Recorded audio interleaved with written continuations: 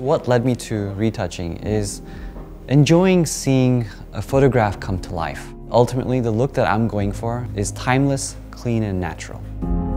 My name is Pratik Naik. I'm an editorial and commercial retoucher.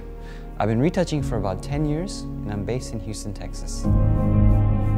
The skin tone tool is the most imperative part of my workflow. It allows me to correct skin tones that are not perfect. If you have green tints, red tints, it fixes that altogether. The functionality that Layers has allowed me to do with color grading is amazing. I'm able to create a look rather seamlessly and quick as possible, communicate that with a photographer or client, and make adjustments on the fly without being permanent. And that gives me unlimited range when it comes to color grading.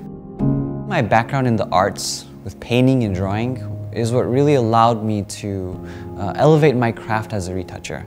Although it takes a few years to refine your eye, it does encompass a study and understanding of art, light, and color. Utilizing a stylus when using Capture One feels really intuitive. It feels like I'm an artist again. I don't have to worry about any of the settings.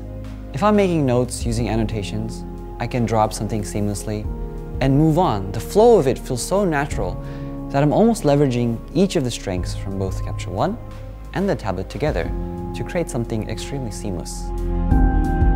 The reason why Capture One is so unique versus any other editing software out there is that it has these rich color profiles that are handcrafted.